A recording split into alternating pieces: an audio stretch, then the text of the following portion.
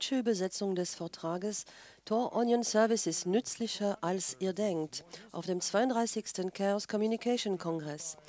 Wir freuen uns über Feedback über die Übersetzung auf Twitter an C3 Lingo oder den Hashtag C3T.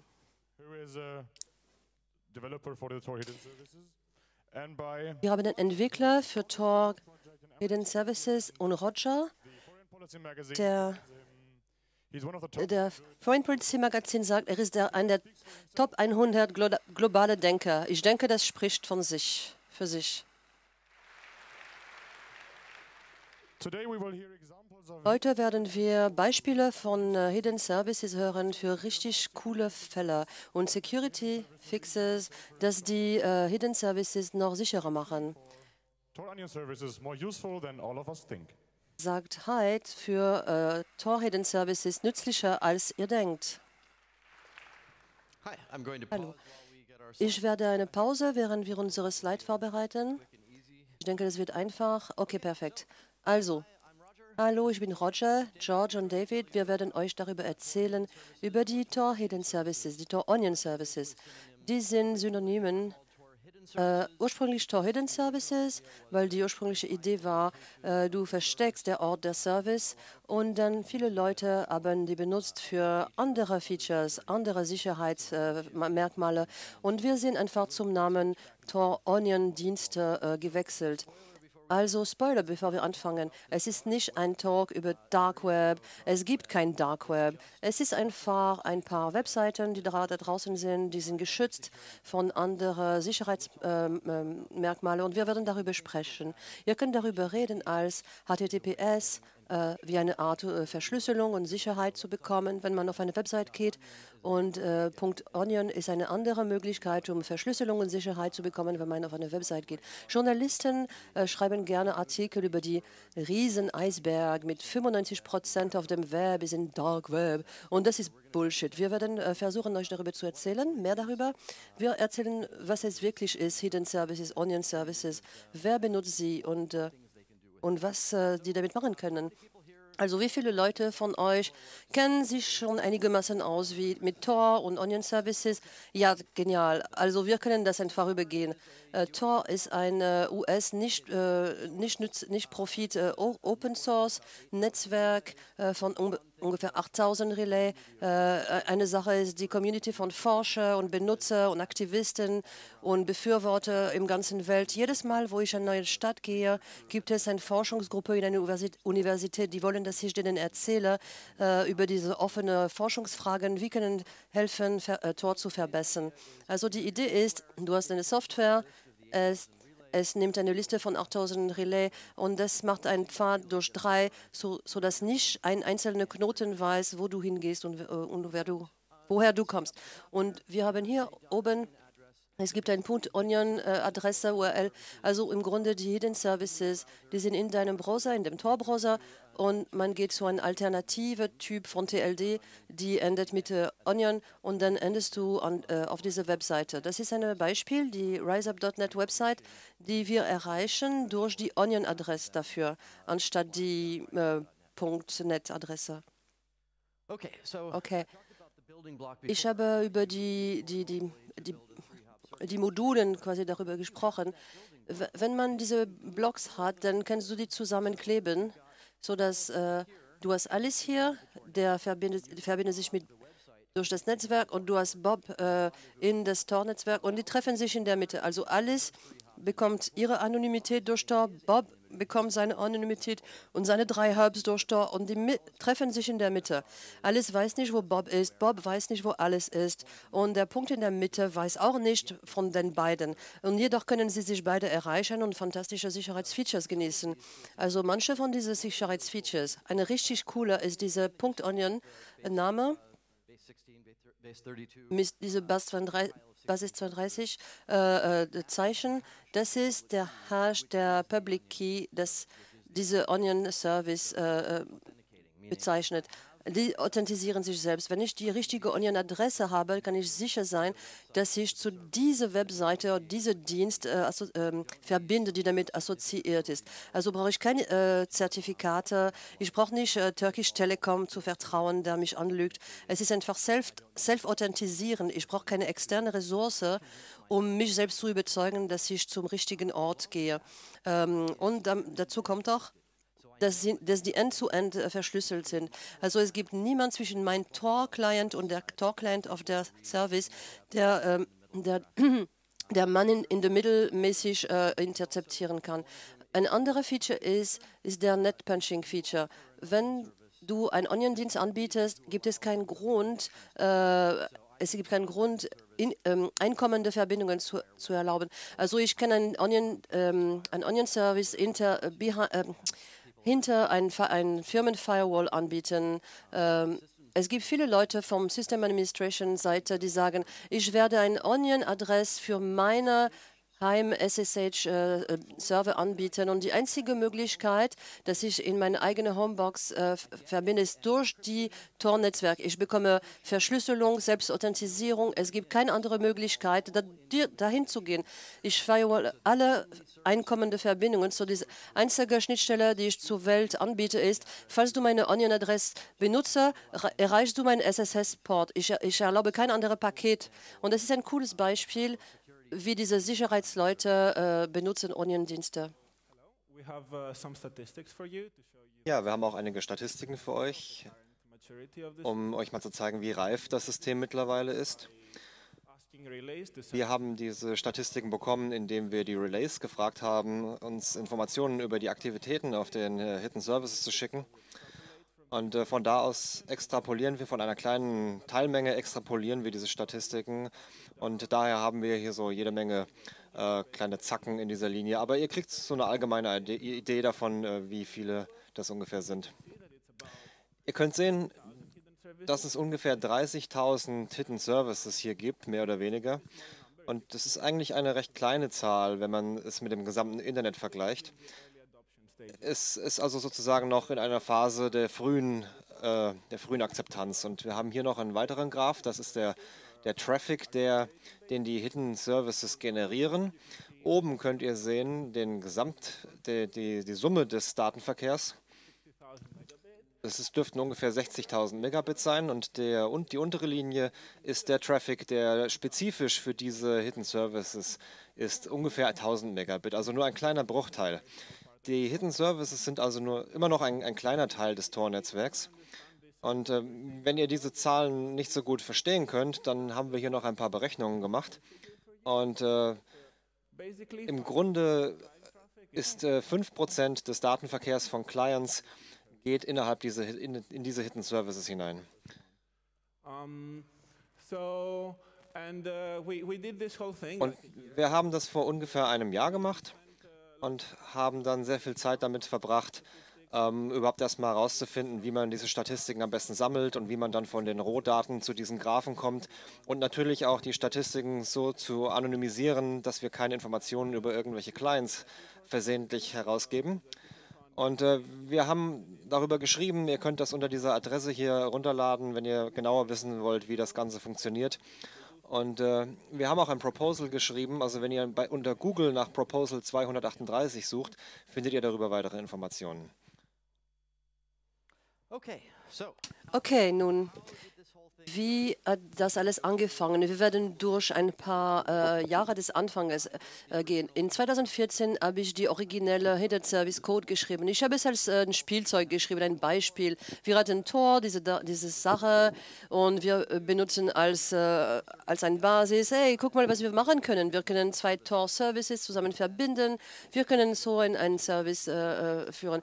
niemand hat es benutzt ein paar Jahre lang. Es gab ein verstecktes Wiki. Ähm, wenn du einen Onion-Service hast, dann kannst du äh, im Wiki äh, dich anmelden. Es, es, gab ein paar Be Beispiele von Hidden Services, aber für die ersten Jahre wurde es nicht benutzt, wurde es nicht interessant. Die erste, erste äh, interessante Use Case, das war die Suprexa-Dokumente. 2005, 2006 gab es eine riesen Pharmafirma, äh, die hatten eine antipsychotische Droge, äh, Syprexa, eine Medizin, und äh, das hat Leute mit, Dia äh, mit Diabetes und äh, das hatte schlimme Nebeneffekte, tödliche Nebeneffekte. Und jemand hat, äh, ein Whistleblower, hat äh, sehr viele Dokumente im Internet geleakt, äh, die zeigten, dass diese Firma wusste über die Nebeneffekte.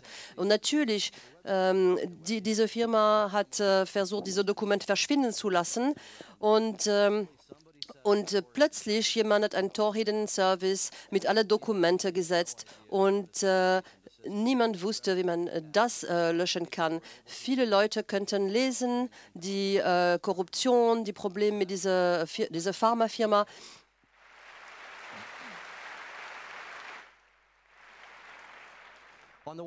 Eine Hand war es richtig cool. Hey, hier wir sind. Wir, äh, wir kein Sensor, keine Zensur. Wir kriegen äh, Informationen durch Tor über eine böse Pharmafirma, die Leute wehtut.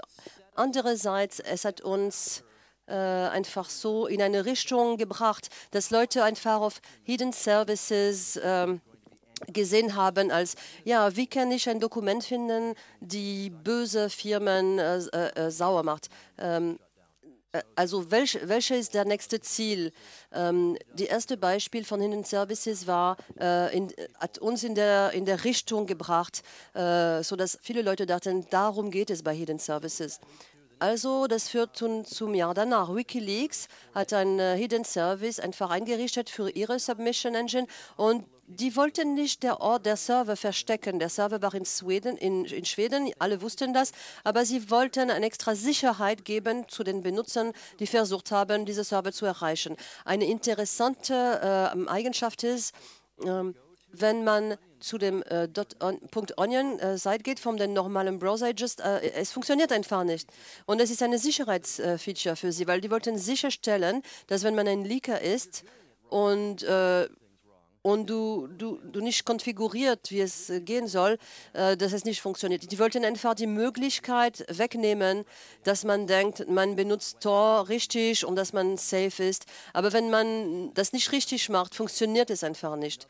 Und die wollten es einfach als andere Sicherheitslayer für die Benutzer, um sie zu benutzen für ihre eigenen Fehler. Und äh, ein paar Jahre später andere Organisationen in Italien, Global Leaks, und die haben einfach einen Mechanismus aufgesetzt, sodass, wenn man etwas mit dem Welt teilen will, dann kann man äh, zu einem Journalisten sich verbinden durch diese Global Leaks äh. Und die haben äh, sogar äh, Regierungen äh, kontaktiert, um Global Leaks Plattformen aufzusetzen. Die sind zu Italien, philippinische äh, Regierung gegangen und die haben gesagt, okay, das ist eine Möglichkeit für euch über äh, Korruption in eurem Land zu erfahren. Also geht zu einer Regierung und sagt, hier, ich habe gehört, es gibt Korruption und äh, es könnte entdeckt werden. Nicht jeder wird darüber glücklich sein, aber ein Feature ist, du kannst sehr einfach sagen, kannst du mir helfen, ein Whistleblower-Netzwerk äh, zu, zu, ähm, aufzusetzen für das Land daneben. Ja, äh, wir werden denen eine Antikorruptionsseite aufsetzen. Also das ist richtig cool. Die Globalisten spielen das politische Spiel, zeigen, dass äh, diese Sachen öffentlich zu machen ist, ist, ist wert. Ist wert.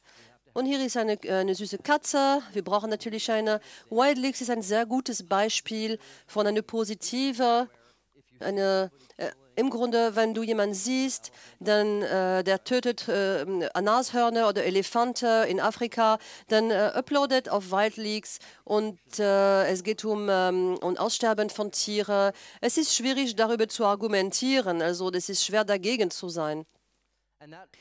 Und äh, gehen wir als nächstes zu Secure Drop. Eine Gruppe in den USA, die arbeiten und ein anderes Beispiel, und how zu verbinden Leute, die interessante Informationen haben und Journalisten. Und die haben mit den New Yorker und anderen High-Profile-Zeitungen, äh, äh, damit sie einfach ein, ein Mittel geben, damit die Leute diese Journalisten in, in einen sicheren Weg kontaktieren können. Und es wurde benutzt in uh, High-Profile-Events. Äh, ähm, das, äh, das ist wirklich toll. So sollte es funktionieren.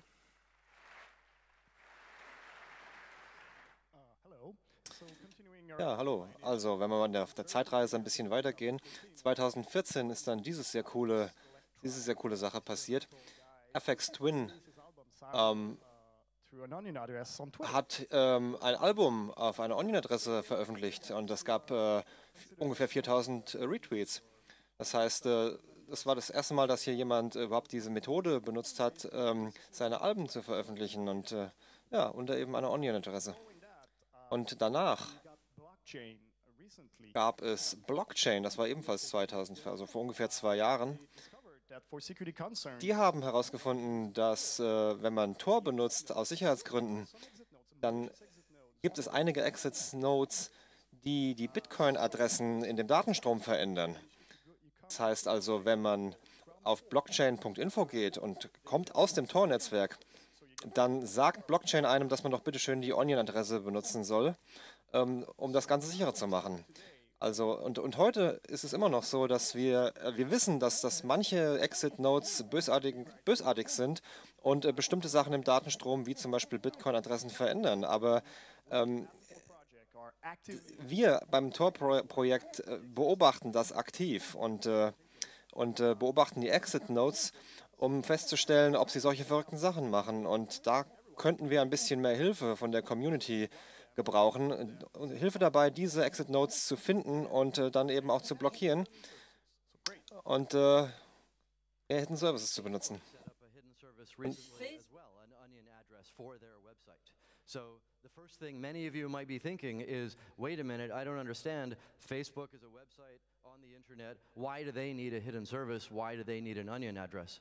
So the first answer is they worry about users in interesting countries. Say you've got a Facebook user in Turkey or Tunisia or something like that, and they try to go to Facebook, and the local DNS server lies to them and sends them somewhere else. Or Turkish Telecom, which is a certificate authority that everybody trusts, ends up pretending to be Facebook. You man in the middle of them, uh, now, there are certificate pinning and other challenges like that, and maybe those are good starts.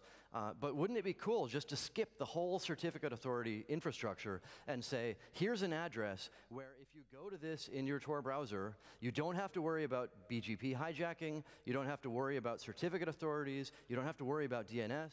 It's all inside the Tor network, and it takes care of the security properties I talked about before. So that's a really cool way that they can switch. I was talking to one of the Facebook people earlier.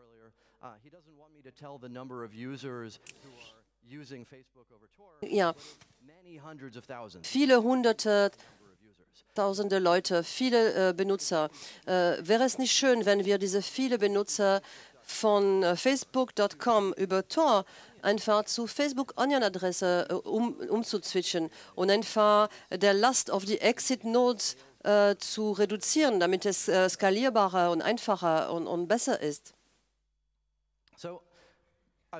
Also, ich dachte darüber ganz am Anfang und ich dachte, Moment mal, ich kriege das nicht hin. Facebook hat eine Onion-Adresse, aber die haben noch eine echte Adresse. Warum brauchen wir die andere? Und dann habe ich gedacht, äh, erinnert euch, vor zehn Jahren, Leute hatten Webseiten und die Admins von der Webseite sagten, ich brauche nicht HTTPS für meine Webseite, weil, mein, weil meine Benutzer, bla bla, Bullshit, Bullshit, ihre Benutzer brauchen keine Sicherheit und die brauchen keine Verschlüsselung und solche Sachen. Und jetzt, zehn Jahre später, alle denken, ich brauche nicht HTTPS für meine Webseite. Wir denken, die sind äh, egoistisch, die denken nicht über ihre Benutzer.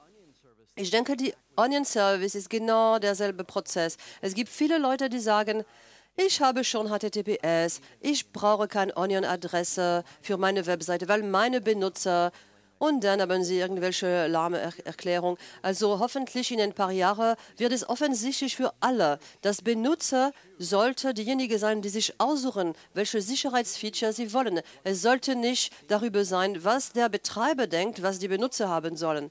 Ich sollte die Wahl haben, wenn ich zu Facebook gehe. Gehe ich zu der HTTP-Version, gehe ich zu der HTTPS-Version, gehe ich zu der Onion-Version. Es sollte meine Entscheidung sein, äh, das zu entscheiden, welche Sicherheit ich möchte. Der andere Challenge ist, äh, ich habe mit Forschern gesprochen, die meinten, ich habe eine Kopie von Facebook im Dark Web gefunden und ich dachte, oh, Moment, du hast keine Kopie von Facebook und Dark Web gefunden. Es gibt einen Mechanismus, um sicher zu gehen auf der Seite, die Facebook heißt und das nennt sich eine Onion Service. Es ist kein getrennter Dark Web. Es ist about Verbindung, Verschlüsselung. Es, es ist darüber ein Weg, deine, dein, dein Ziel sicherer zu erreichen. Andere coole Sache. Facebook hat nicht nur eine Onion-Adresse bekommen, die haben ein HTTPS-Zertifikat für ihre Onion-Adresse bekommen. Die haben ein EW-Cert. Äh, diese Ding, die dir ein grünes kleines Zeichen zeigt, DigiCert hat denen ein SSL-Zertifikat gegeben für die Onion-Adresse. Also man kann beides haben. Es ist genial. Es ist ein neuer Schritt und darüber hätten wir noch nicht mal gedacht. Also, was, was gibt das zu denen? Äh, eine Sache ist, auf der Browser, wenn man zu einem HTTPS-URL, äh, der Browser weiß, wie er die Cookies behandelt, wie er bestimmte Sachen nicht liegt. Es gibt äh, Sicherheit, eine Datenschutzverbesserung, äh, die vom Browser ausgehen, wenn man dahin geht. Wir wollen nicht die Browser erziehen. Falls HTTPS or Onion, dann sei sicher. Auf der anderen Seite, auf der Serverseite, Facebook müsste nichts ändern. Es ist einfach eine andere Möglichkeit, der Facebook-Server zu erreichen. Und eine andere coole Sache. Es stellt sich heraus, die einzige Möglichkeit, eine Wildcard-EV-Zertifikat zu bekommen, ist für ein Onion-Domain. Es ist eigentlich geschrieben in diese Zertifikat-Autorität-Welt, dass es eine große Ausnahme für Onion-Adresse gibt. Du kriegst keine Wildcard-EV-Zertifikat, es sei denn, es ist für eine Onion-Adresse. Das ist eine geniale Unterstützung von Onion Services von den Zertifikat-Autoritätsleuten.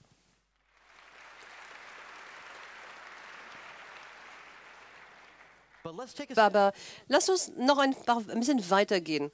Wäre es nicht cool, wenn wir das Let's Encrypt-Projekt nehmen und die bündeln ein Tor-Client mit jedem Webserver, der diese Let's Encrypt-System anbietet. Also jedes Mal, wo du für Let's Encrypt unterschreibst, dann klickst du der Button, der sagt, und ich will eine Onion-Adresse für meine Webseite. Und die, automatisch in selbe Zertifikat kriegst du eins für RiseUp.net und als Alternativname bla bla bla äh, .onion. Es ist derselbe Zertifikat. Also du kannst direkt zu deiner Website gehen oder du kannst über die Onion-Adresse gehen und auf beide Wege kriegst du das SSL-Zertifikat, der alle sicher hält.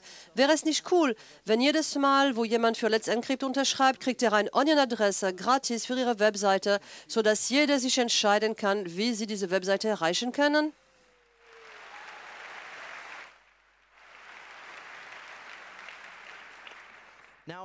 Nun, es gibt ein paar Probleme damit. Der größte ist, wir wollen einen Weg äh, zu verbinden der RiseUp.net-Adresse zu der Onion-Adresse, sodass, wenn ich zu RiseUp.net gehe, dann weiß ich, ich gehe zu der richtigen Onion-Adresse. Also wir müssen irgendwie eine Möglichkeit äh, durch Signaturen oder so zu verbinden. Es muss gemacht werden, aber irgendjemand muss sich damit beschäftigen.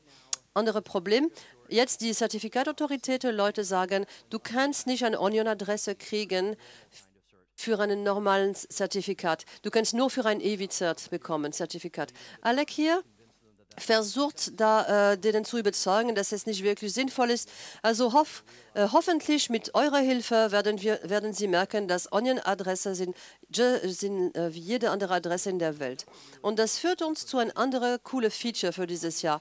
Wir haben IETF, ähm, die, das IETF hat für uns in ein echtes RFC spezifiziert, dass die, die .onion-Domain ist ein Spezialfall und die werden es nicht für was anderes ausgeben.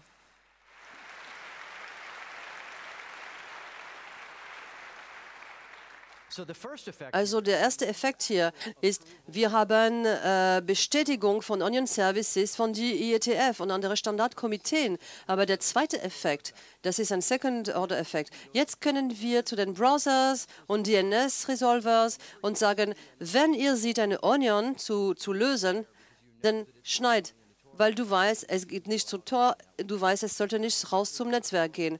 Also wenn du in deinem normalen Internet Explorer bist und du klickst auf eine Onion-Adresse aus Versehen, Internet Explorer weiß, dass es eine Adresse, die nicht rausgehen soll. Also wir können Leute sicher halten in normale Browsers, die sonst würden nicht mal wissen, was damit passiert. Ja, bis jetzt haben wir über Webseiten in Hidden Services gesprochen, aber das ist nicht nur alles, was Hidden Services machen können. Im Grunde kann man alles, was über TCP funktioniert, auch über Hidden Services machen. Und wir werden euch ein paar Beispiele zeigen für äh, Applikationen, die von Drittherstellern, die für Hidden Services entwickelt wurden und da sehr interessante Sachen machen. Als allererstes Onion Share. Das ist eine, eine Applikation zur Dateiübertragung. Man lädt das also runter und äh, man füttert eine Datei hinein und äh, zeigt auf einen, auf einen HTTP-Server, der dann später den, die Datei hosten soll. Das muss also eine Onion-Adresse sein. Man, man gibt die URL da rein und äh, dann können Sie diese Adresse, kann man zum Beispiel einem Freund geben und die können einfach diese Adresse in ihren Tor-Browser eingeben und diese Datei runterladen. Das ist eigentlich eine ganz bequeme äh, Geschichte. Organisationen können damit äh, Dateien intern transferieren, ohne Gefahr zu laufen, dass die irgendwie abgefangen werden. Dann gibt es einige äh, Sachen. Hidden Services sind ziemlich gut für Instant Messaging, denn äh, es bedeutet ja im Grunde, dass beide Seiten anonym sind. Und wenn man mit jemandem über einen Hidden Service redet, dann will man eben anonym bleiben. Und eine Möglichkeit, das zu machen, ist Ricochet.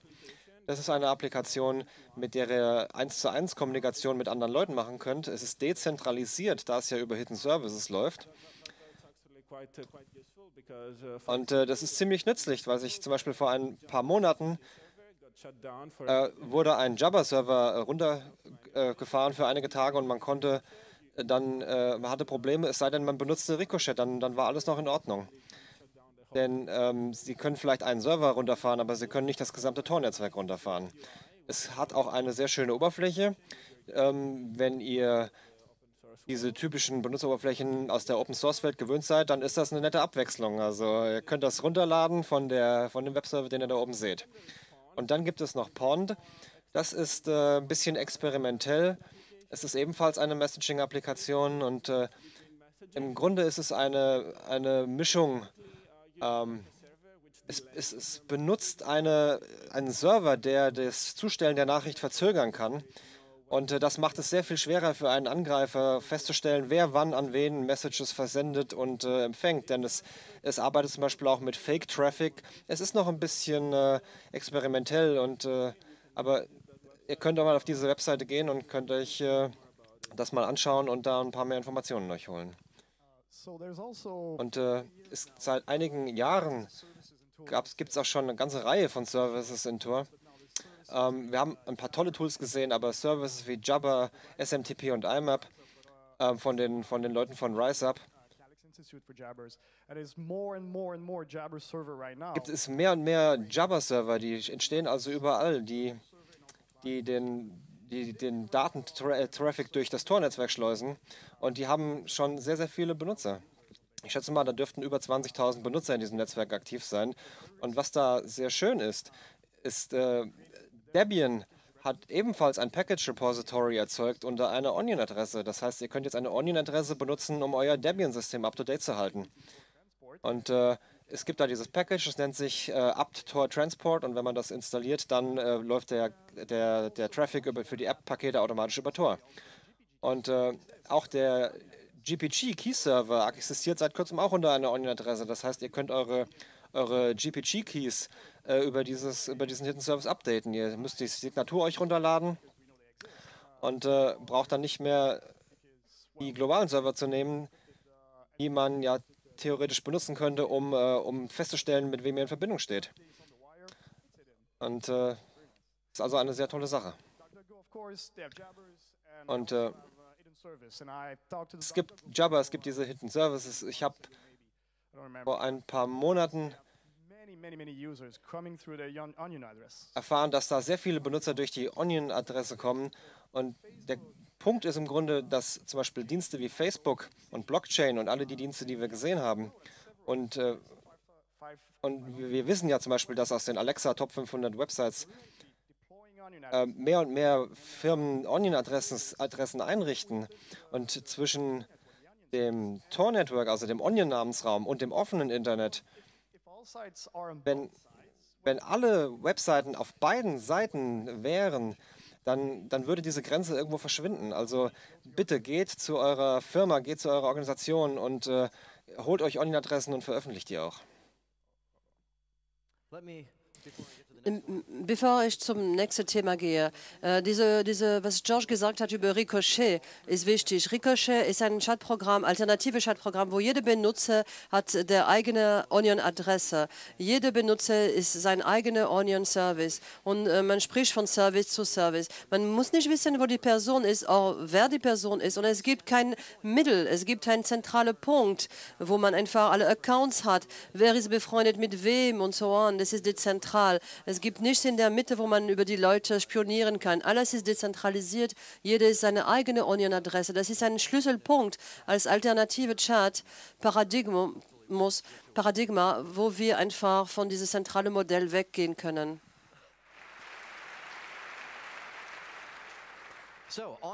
Okay, Phase 2, eine kurze Diversion.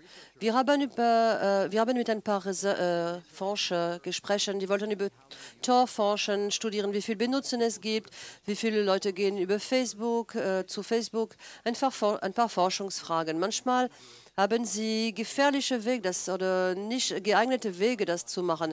Also haben wir Guidelines bearbeitet für Leute, die das einfach auf äh, eine sichere Art und Weise machen, dass sie nicht äh, die Leute äh, verletzen. Also erste Sache versuch, deine eigene Trafik zu attackieren. Falls du eine Frage hast und du musst es an den richtigen Tor-Netzwerk machst, dann musst du deine eigene Trafik generieren und das attackieren. Du, musst nicht, du sollst nicht einfach Benutzer äh, anreichen. Vielleicht ist es jemand in Syrien, der gerade Hilfe braucht oder vielleicht äh, jemand in Deutschland, äh, der von äh, Drucksituationen weggehen will.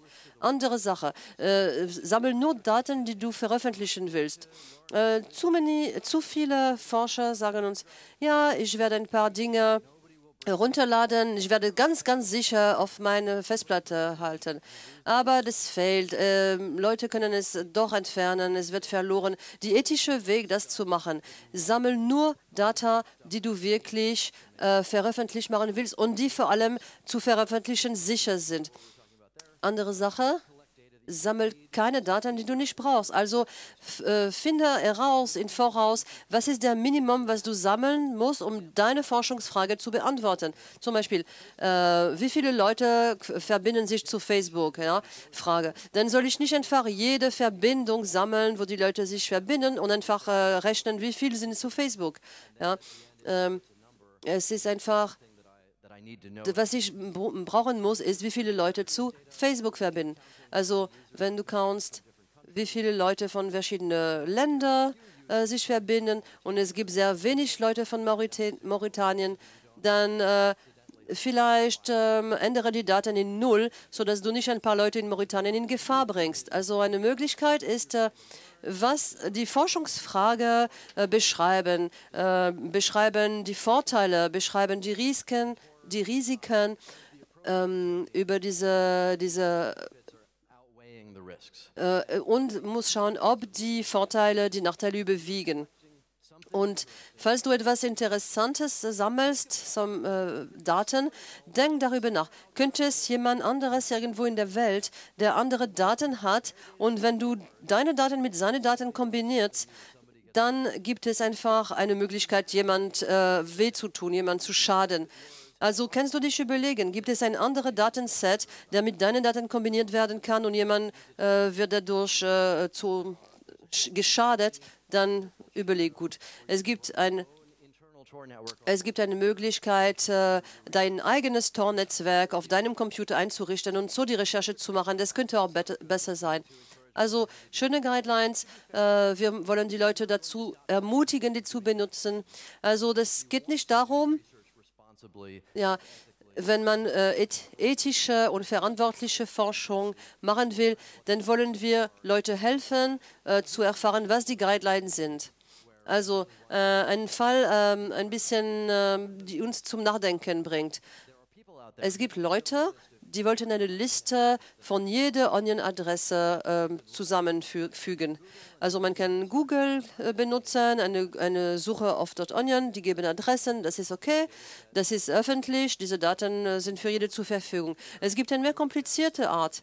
Also VeriSign, bist, du bist VeriSign und du hast äh, Zugriff zu den DNS-Root-Server und du spionierst die DNS-Queries vom ganzen Internet und jeder, der ähm, aus Versehen eine .onion DNS-Query schickt zum Root-Server, zum Root-Server, wird einfach geschrieben. Also du hast die ganzen Side-Channel-Adressen, äh, äh, Leaked-Adressen. Ist es ethisch? Ist es okay? Es ist kompliziert. Ich weiß nicht, wo man stoppen sollte. Wo, wo sollte man die Linie ziehen? Ähm, diese Dataset existiert. Na, nun, noch komplizierter. Was ist, wenn du Comcast bist und du spionierst alle Benutzer, um herauszufinden, was deren DNS-Queries sind, um da die akzidentelle Leak zu rauszufinden?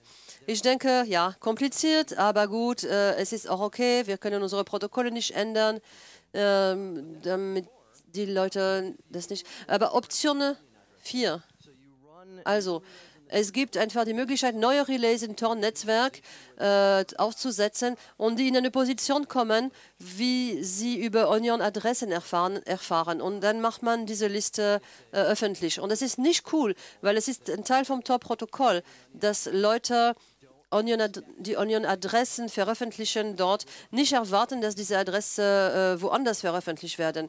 Und wir werden darüber nachdenken, äh, ist es ein Protokollproblem? Ist es Intor und äh, gibt es ein Problem, dass man sich nicht an die Richtlinien hält, also Relay, dann ist es ein Problem.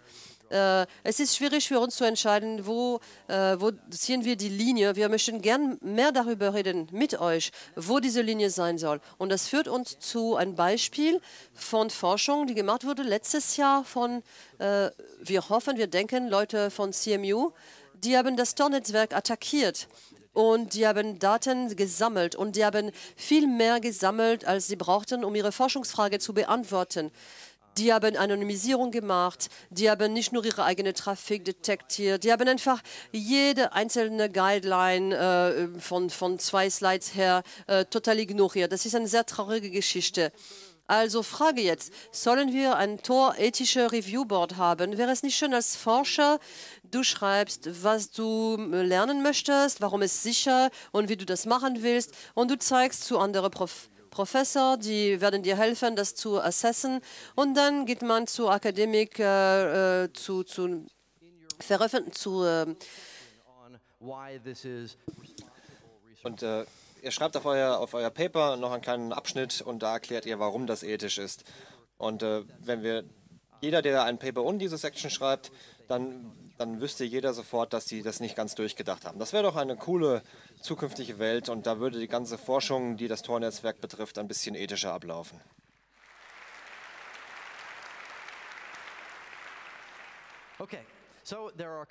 Okay, es gibt aber ein paar Probleme in der Sicherheit der Tor Onion Services. Wir gehen mal ganz kurz drüber. Wir können dann später detailliert darauf eingehen. Das erste ist, die, die Identitätsschlüssel sind zu kurz.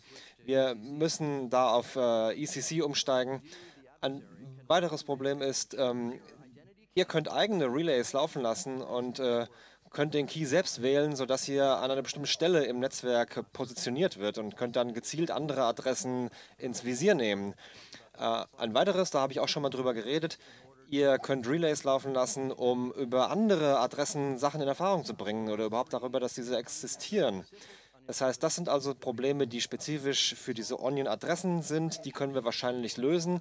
Es gibt aber drei größere Probleme. Das erste ist, ähm, böse Leute können hunderte von Relays laufen lassen und wir bräuchten einen Weg, dass wir das erkennen können und uns dagegen schützen können. Ein weiterer ist, ihr könnt Relays laufen lassen, um etwas zu erfahren über die Pfade, die die Clients auswählen. Und ihr könnt auch Fingerprinting machen für Websites. Und das sind alles Sachen, über die ich gerne später reden würde. Wir haben wahrscheinlich nicht mehr genug Zeit, darüber ganz detailliert zu werden. Okay, Phase 3. Wie? Wie arbeiten die Tor Hidden Services jetzt? Ich gebe euch ein bisschen Hintergrundwissen, ähm, über, damit ihr versteht, was wir da an dem Design verbessern wollen. Wir haben also hier Alice. Sie möchte einen Hidden Service Bob be besuchen. Das erste, was passiert ist, Bob generiert einen Key und er baut drei, ähm, drei Startpunkte auf im Tor-Netzwerk. Dann veröffentlicht er äh, diese, in Richtung dieser großen Datenbank die Information, dies ist mein Key und das sind meine drei Startpunkte. Und Ähm, das ist der Punkt, an dem Alice dann über seine, seine OnionNet-Adresse erfährt. Sie lädt sich diese Skriptoren runter, sie bekommt dann die Informationen über den Key und die drei Einstiegspunkte und parallel dazu äh, sucht sie sich einen Punkt aus im Tor-Netzwerk und baut einen Circuit dahin auf. Das heißt, in diesem Moment hat Bob drei Einstiegspunkte und Alice hat einen, der im Tor-Netzwerk offen ist, einen, einen Treffpunkt sozusagen. In diesem Punkt verbindet sich Alex mit einem der Einführungspunkte von Bob und sagt, hey, ich würde mich gerne mit dir verbinden und ich bin hier drüben, ich warte auf dich. Das ist meine Einstiegsadresse, wenn du mit mir, wenn du mir antworten möchtest, ich bin genau hier. Und das ist der Punkt, wo Bob, sofern er das möchte, eine Verbindung zu dem Rendezvous-Punkt aufbaut und jetzt hat Alice und Bob eine Verbindung zu dem gleichen Punkt.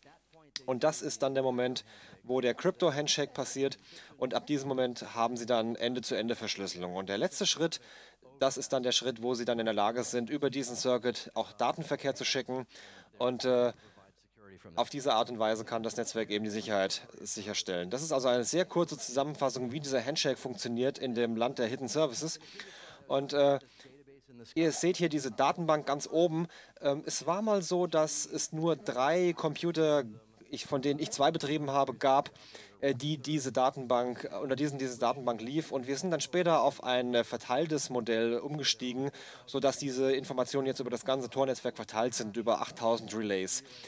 Wenn ihr euch jetzt äh, den, den Hash jedes dieser Relays auf diesem Hash-Ring vorstellt, dann gibt es an jedem gegebenen Zeitpunkt gibt es sechs Relays, die dafür zuständig sind, zu wissen, wo ein bestimmter Onion-Service sich befindet. Das heißt, wenn ich also meinen eigenen Onion-Service einrichte und laufen lasse, dann berechne ich, welche sechs Relays das sind und denen verrate ich dann meinen Deskriptor. Und wenn ich ein Client bin, der da hingehen will, dann kann ich berechnen, welche sechs Relays das sein müssten und ich kann jeden einzelnen dieser sechs Relays fragen und diesen Deskriptor mir runterladen. Die Art und Weise, wie wir diese, diese vorausschaubare Menge von Relays berechnen, ist äh, diese Hash-Funktion, die ihr da oben seht. Das heißt, man nimmt die Onion-Adresse, man nimmt die, die aktuelle Datum oder beziehungsweise Zeit. Also äh, eigentlich recht statische Elemente. Das äh, ist nötig, damit beide Seiten berechnen können, auf welche Adresse sie gehen müssen, wenn sie einen Deskriptor veröffentlichen oder eben auch abholen wollen. Und äh, zurück zu diesem Sicherheitsproblem nochmal. Vor ein paar Jahren, vielleicht so vor zwei oder drei Jahren, haben wir angefangen, uns diese Hidden Services mal genauer anzuschauen und haben auch diese Probleme ein bisschen erforscht, äh, von denen wir berichtet haben kommen.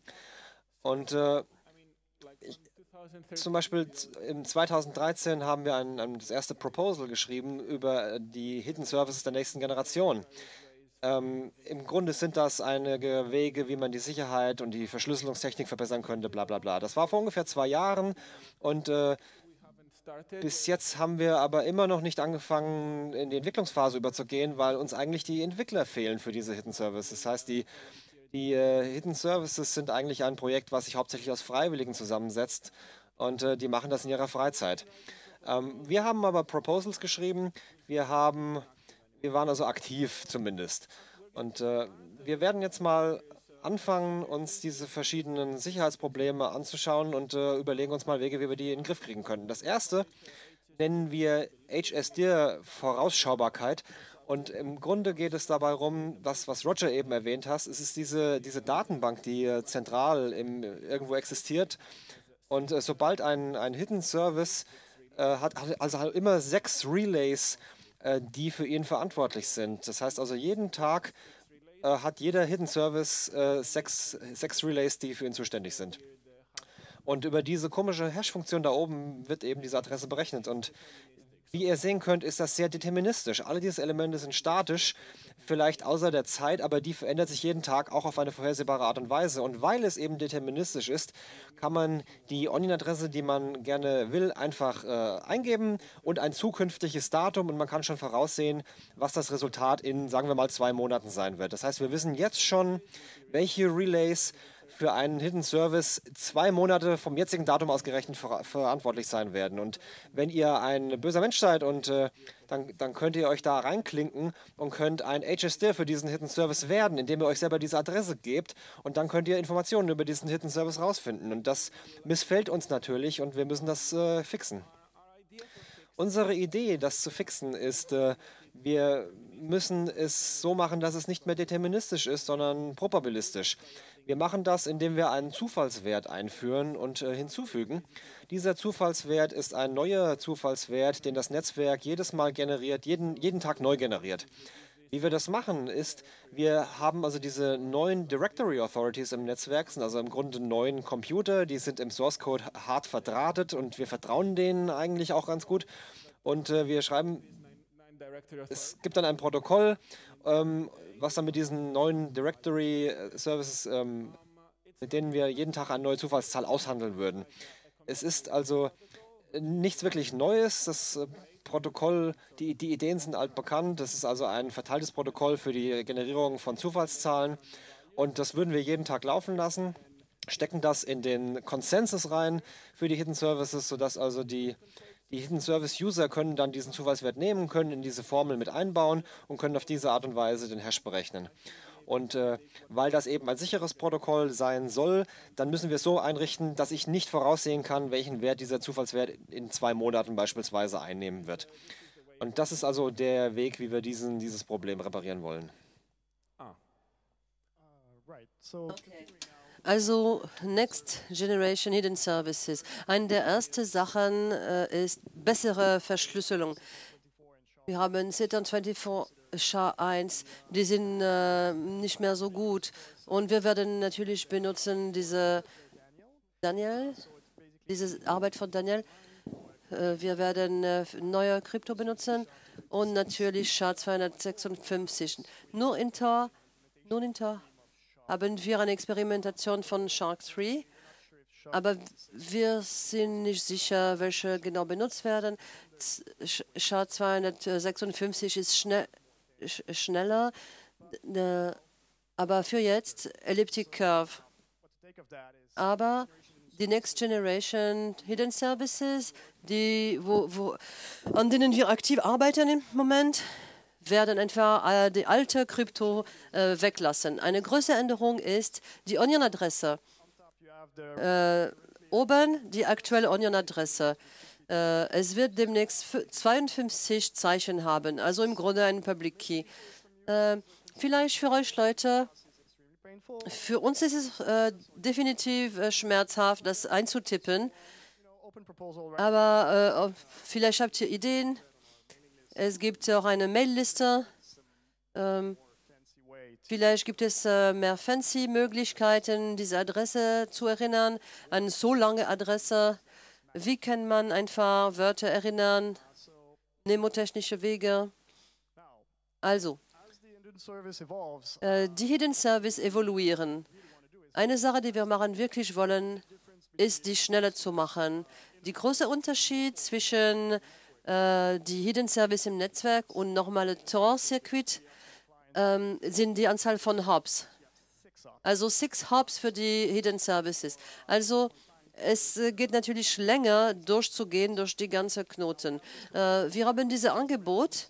Es ist ein Rendezvous Single Onion Service. Der Punkt ist, äh, du gibst die Introduction, das Rendezvous und dann, wenn du zum Rendezvous gehst, anstatt dass der Service drei Hops geht, dann gehst du ein Hop zum Service. Also wir haben jemanden, der seine Debian-Maschine aktualisieren will, und der Debian-Server ist es egal, Anonymität. Äh, wir wissen, wo die Debian-Server sind, ist okay. Der Client hat Anonymität mit den drei Hubs und der Server ist es egal. Also nur ein Hub. Und es geht viel schneller. Also es ist etwas, was wir äh, sehr bald haben wollen. Eine andere Sache ist der Single Onion Service. Ungefähr dasselbe. Äh, ein Chef will zum Fairtrade-Website gehen, und der Unterschied ist, wir, äh, wir, wir einfach diese, diese ganze Handshake äh, weglassen werden. Einfach drei Circuits zum Rendezvous Point. Äh, nennen wir es Node Introduction Punkt. Es gibt diese gelbe, diese gelbe Linie. Und der Client geht zu dieser Introduction Point und anstellen, dass es diese Handshake gibt, der Client tendiert zum Service. Und wir haben ein Drei-Opt-Ding, no, äh, keine, keine Arbeit für Introduction, es geht viel schneller. Also diese zwei hier und da sind Optimisationen für Dienste, die über Anonymität nicht so, die auf Anonymität nicht so viel Wert legen, äh, zum Beispiel Facebook, Anonymität vom Server, äh, Facebook, Debian. Ja, Facebook und Debian, äh, denen gefällt das sehr gut, dass sie in Zukunft eine dieser Optionen haben werden. Denn das heißt, dass alle ihre Benutzer ihre Services mit all diesen coolen Sicherheitsvorkehrungen erreichen können, aber gleichzeitig sind sie schneller und besser skalierbar als das momentane Design. Exakt. Also, eine der sehr coole Sachen von diesem Sommer war der Tor Summer Privacy. Wir haben äh, Leute mit uns, äh, Studenten, äh, intern ein Projekt, der rausgekommen ist von dieser cool Person, Donica, at Onion Balance. Es ist Load Balancing für Hidden Services. Also ein, es gibt einen Hidden Service mit einer Top Key, dann kopierst du diese Key auf mehrere Maschinen. Also alle diese Server machen eine verteilte äh, Angebot, wie sie erreichen können. Und wir können uns einfach aussuchen, die Introduction Points für jede davon und einfach eine, ein, ein Master Descriptor benutzen, was der äh, Key benutzt. Und dann gibt es Load Balancing, abhängig von äh, Introduction Point. Das ist genial. Wir wissen, dass Facebook äh, aktiv diese Beta-Testen starten wird. Wir können Load Balancing, CDN, mh, viel einfacher für Onion-Adressen bekommen. Also äh, als nächstes Roger, aber bevor die nächste Generation Onion Services ist etwas, was seit zwei Jahren in Gespräch ist. Und jetzt werden wir richtig daran arbeiten, aktiv 2016 mit Vollzeit-Developer, äh, äh, Entwickler damit arbeiten, daran arbeiten. Äh, wir brauchen noch mehr Hilfe, äh, um, um unabhängiger zu, zu werden. Also wir brauchen Ressourcen. Äh, und äh, nächstes Jahr wollen wir dieses, äh, diese Sache wirklich up and running.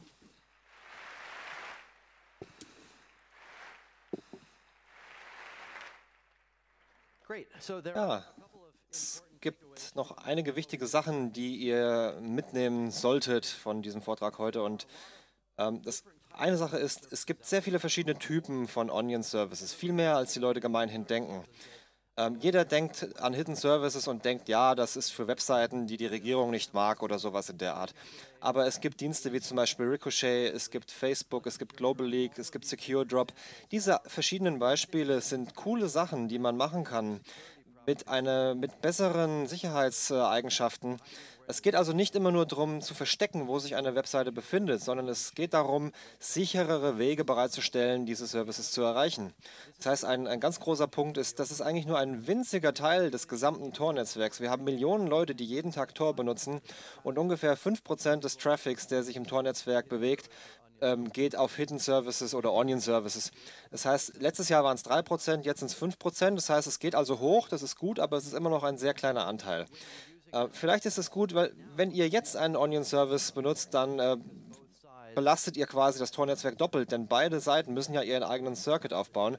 Aber wenn wir jetzt zu einem dieser Design-Switchen, von denen David geredet hat, dann wird das Ganze sehr viel mehr skalierbar und sehr viel, mehr, sehr viel effizienter werden. Und das wird ziemlich cool, denn wir könnten dann zum Beispiel Amazon, Facebook, Twitter und Wikipedia und, und weitere äh, Firmen äh, haben und könnten diesen ermöglichen, eine bessere Sicherheit bereitzustellen, indem sie Tor benutzen und äh, gleichzeitig ähm, auch da, Seiten wie Facebook daran hindern zu sehen, wo ihr die Leute sind, die sie benutzen. Wir würden euch gerne noch viel mehr nach dem Talk über diese Geschichten erzählen. Und das, das Letzte, was ich aber noch möchte, dass ihr mitnimmt, wenn ihr einen coolen Service habt, dann bitte setzt eine Onion-Adresse auf für diesen Service und stellt das unter, den Onion, unter dieser Onion-Adresse bereit. So die dass die, die, das Bereitstellen eines Onion-Services eine normale Sache wird. Das ist ein Ziel, auf das wir hinarbeiten müssen, dass Leute nichts mehr Besonderes daran finden, auf eine Onion-Adresse zu gehen.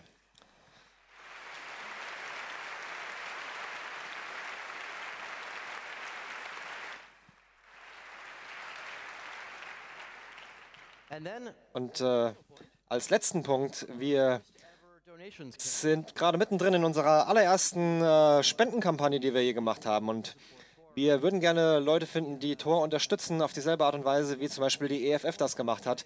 Es wäre super. Ich will natürlich nicht äh, die ganzen Gelder wegwerfen, die wir von der Regierung bekommen, aber äh, wir würden jetzt gerne mehr Optionen haben und äh, eine, eine verlässlichere Geldquelle haben und wir müssten nicht an jedes neue Angebot bekommen und äh, entscheiden, ob wir das annehmen können oder nicht. Das heißt, wir hätten gerne mehr Diversität was die Leute angeht, die Tor helfen zu existieren und, und sich weiterzuentwickeln. Also äh, bitte denkt mal drüber nach, ob ihr da vielleicht helfen möchtet.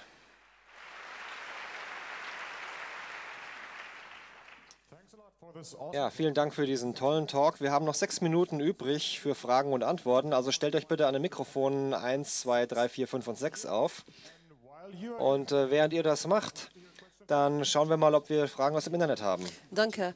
Ich habe viele Fragen. Äh, kompromissierte Onion-Adressen. Eine Frage. Haben wir ein Problem mit, mit bösen Zwillingen? Mit, was kann ich machen, weil meine Onion-Adresse kompromittiert ist? Wie Amazon. Wie kann ich wissen, welche die offizielle Service ist? Ja, der erste Teil der Frage, wenn, wenn dein Onion Key gestohlen wird, ähm, ist das im Grunde das gleiche wie bei dem SSL-Problem. Also wie kann man sicherstellen, dass das Zertifikat für den Webserver sicher ist? Und die Antwort ist, naja, man sollte es auf dieselbe Art und Weise sicher halten wie alles andere auch. Also sobald jemand den Schlüssel für deine Online-Adresse bekommt, dann habt ihr ein Problem. Also lasst diesen Key nicht äh, leaken. Und woher wisst ihr, dass eine bestimmte Online-Adresse wirklich Amazon ist? Das äh, hängt so ein bisschen zusammen mit der Zertifikats-Authority, mit, mit HTTPS, über das wir heute geredet haben. Ähm, wir müssen einen Weg finden, in das Amazon SSL-Zertifikat mit reinzubringen, dass das Amazon ist und dass dies die alternative Online-Adresse von Amazon ist. Wenn wir das in das gleiche Zertifikat reinbringen können, dann könntet ihr sicher sein, dass es wirklich Amazon ist, mit dem ihr euch verbindet. Danke. Nächste Frage. Bitte kurz fassen. Okay. Also. 16 zu 52 Zeichen ist schön, aber wenn wir den Algorithmus nochmal ändern müssen, wäre es nicht ein Präfix zu haben für den Algorithmus, der die Adresse festlegt? Ja, wir haben in der Tat noch ein paar extra Bits in diesen 52 Byte versteckt und wir können das benutzen, um die Version zum Beispiel anzugeben. Und äh, es gibt in diesem Proposal, was ich erwähnt habe, einige Beispiele. Ähm, wir haben uns noch nicht, glaube ich, so hundertprozentig für was entschieden, aber es ist auf jeden Fall drin. Okay, nächste Frage.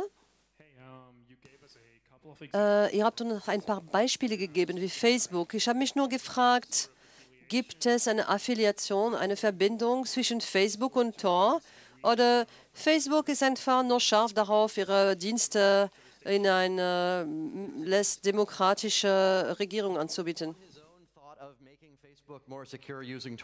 Es äh, da war wirklich jemand, der, der darüber nachgedacht hat, wie man Facebook sicherer machen könnte. Und wir haben festgestellt, dass das eine gute Sache ist und seitdem helfen wir ihm.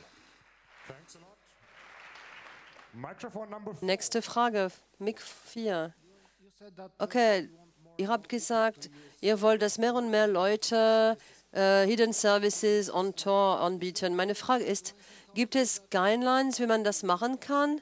Also Beispiel, wie man mit bestimmten Diensten machen kann. Äh, von dem, was ich gesehen habe, ich habe es mal probiert selbst und es ist schwierig. Äh, also je mehr Adresse, äh, dadurch, dass die Adresse größer werden, wird es noch schwieriger. Eine Sache, die ich gerne sehen würde, ist zum Beispiel ein DNS-Rekord, das, das, äh, einen speziellen DNS Rekord nur für Onion-Adressen, sodass Leute äh, können zwischen TLD und Onion aussuchen. Ja, für diese DNS-Geschichte, wenn wir DNS-Sec haben, dann Daumen hoch. Wenn wir das nicht haben, ähm, ich will nicht diese, diese grauenvolle Sicherheit, die DNS normalerweise bietet, äh, im Tor-Netzwerk haben. Ich will nicht, dass mir ein DNS-Server einfach sagt, du musst da und da hingehen und äh, das, das, wäre, das wäre keine gute Idee. Okay, aber wie, wie kann man das aufsetzen? Es gibt Guidelines, wie kann man das sicherer machen. Es gibt auch äh, jemanden am Tor-Wiki, aber im Allgemeinen, es gibt viele Möglichkeiten, das schief zu machen. Es ist nicht wirklich einfach, äh, einen Hidden Service aufzusetzen. Und äh, wir hoffen in Zukunft, dass es einen äh, einfachen Weg geben wird, einen Hidden Service äh, anzubieten. Vielleicht mit einem Bundle, vielleicht ein Blog, äh, ähm, ich weiß nicht. Es ist wirklich eine der Sachen, die richtig gebraucht werden. Ja, es wäre wirklich cool, eine Serverversion von Tails zu haben, wo alles eingebaut ist, ein Webserver, Python und, und alles so schon so vorkonfiguriert, dass es sicher ist. Das wäre etwas, äh, womit viele, viele Leute dann äh, solche Sites aufsetzen könnten und äh, nicht Angst haben müssten, dass sie irgendwas dabei falsch machen. Okay, nur eine Minute übrig. Letzte, letzte Frage. Uh, Zwei kleine Fragen. Nur eine bitte. Uh, okay. Uh, äh, ihr habt Semi-Trust Assumption für die Random-Nummer-Generator, für die Relays. Äh, als, habt ihr daran gedacht, es ist eine gute Idee, ich habe nicht gehört. Die Bitcoin-Blockchain dafür zu nehmen. Ja, wir haben das, wir haben da mal drüber nachgedacht, aber ähm, es gibt da so ein paar, es gibt da ein paar technische Probleme. Wenn man diese Blockchain benutzt, dann muss man äh, jede Menge Sachen verifizieren. Wir müssten das in die Codebase von Tor mit reinnehmen.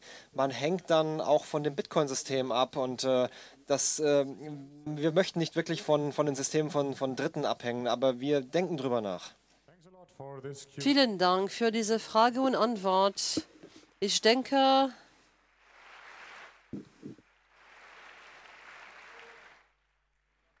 ich denke, ihr werdet einfach hier bleiben und für die Leute im Publikum ansprechbar sein. Der nächste Talk